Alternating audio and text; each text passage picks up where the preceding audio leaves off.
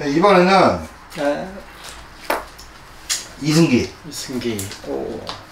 1987년 얘도 나이가 얼마만큼 먹었어요? 많이 먹었네 이제 1월 13일입니다 아이고. 그리고 이다인 어. 1992년 음. 11월 5일이요 오, 나랑 생일이 똑같네. 아 선생님하고요? 나도 11월 5일 생인데.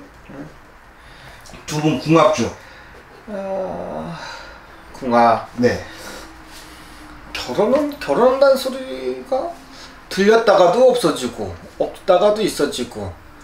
응? 근데 나 이게 어찌 봐야 되나? 둘이 결혼해도는 못 살 텐데. 아 그래요? 원래 둘이는 연애는 가능한데 응, 결혼하면 사람도 그렇잖아요. 결혼해서 결혼하기 전까지는 좋은데 결혼하고 나서부터 안 좋은 사람들이 있단 말이야. 응. 근데 좋았던 감정도 자꾸 식어진단 말이야. 둘은 몰라. 궁합은 몰라. 연애 궁합은 있어. 둘이 연애하고 움직이고 놀고 뭐 하는 건 있지만 만약 진짜 결혼을 한다면 둘이 결혼한다면 몰라 평생 가지 못한다 자꾸 그래. 음... 그래서 몰라 연애하기에는 괜찮다 서로 간에 좋고 움직여지는 건 있지만 이 둘은 몰라. 결혼하면 힘들지 않나. 음, 그래서 뭐 둘도 많이 지금은 서로 아니라고 자꾸 그러는 것 같은데.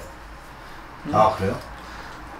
근데 연애는 해, 하고 있는 아직은 몰라요. 어찌 들어보면 이승기 씨가 음, 내가 볼 때는 이승기 씨가 더 좋아하는 느낌? 어... 좋아했었다 자꾸 그래. 어, 지금도 진행형했다가 몰라. 끊어졌다 붙었다 끊어졌다 붙었다 하는데 모르겠어. 결혼하면 힘들지 않나.